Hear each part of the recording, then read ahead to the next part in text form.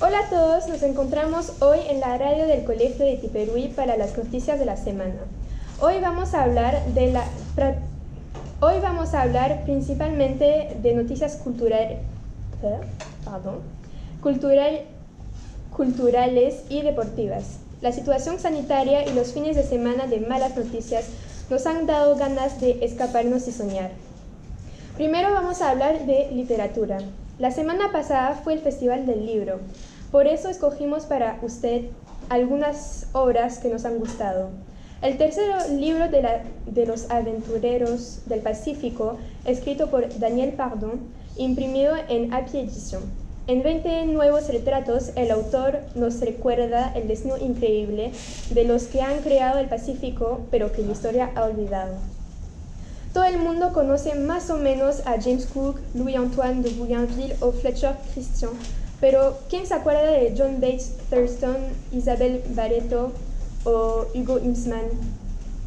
Como en sus libros anteriores, el periodista histórico habla del destino de, aventureros sorprendentes que han estado en nuestro océano al fin del siglo XVI y al principio del siglo XX, en una época donde los viajes duraban años o hasta vidas. El libro está disponible en todas buenas librerías. Ludovia ya regresó. Para su tercera edición, Ludovia Hashtag PF quiere desarrollar más intercambios. Invita a particulares a presentar sus iniciativas numéricas en el evento en marzo próximo.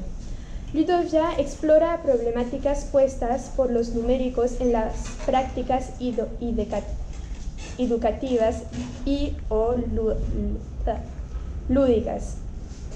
El evento estará en marzo 2021 a Tahití en vivo a la universidad o en videoconferencia. Y no hay ninguna duda que la sección media del Colegio de Tiperuín tendrá novedades a presentar. El pueblo del agua, el WAD es el Día Mundial del Arte. Fue festejado este año por la exposición intitulada Mona Lisa Tapa, puesta en la Biblioteca Universitaria y en la Galería Winkler. Este día regresará en 2021 con temáticas de los pueblos del agua. Ya empezaron a llamar a algunos artistas. El WAD es el World Art Day o el Día Mundial del Arte. Este día empezó el 15 de junio y es reconocido por UNESCO. Es la iniciativa del Valmingo Herichi Vaira Aroa y Clea Muradi, que quieren abrir el diálogo entre artistas de Polinesia contemporánea.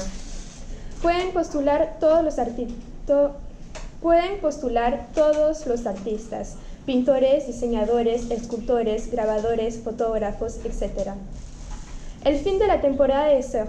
La Federación Tahitiana de Surf ha anunciado el martes el fin de la temporada, justo después de los últimos anuncios de las restricciones sanitarias que, dependen de la, de la, epidemia del coronavirus. La última etapa de la Chinsurf sesión, que tenía que ser este fin de semana del 21 al 22 de noviembre, fue cancelada y la temporada 2020 para todos los campeonatos federal se terminó con la Tapuna Master. La federación dice que el calendario de 2020 para el fin de año todavía tiene eventos abiertos con una competición de a marquesas. Todavía no tenemos confirmación para esta, esta mm, competición, pero no nos olvidaremos de avisarles, dice el comunicado de la FTS. La federación dice también que la ceremonia de premios federales no se festejarán antes del próximo año, seguramente antes de la próxima temporada de 2021. Es así que se terminan las informaciones de hoy. Los volveremos a ver el próximo miércoles en directo en la radio del, en la radio del Colegio de Chiperui en netpacificayo.com.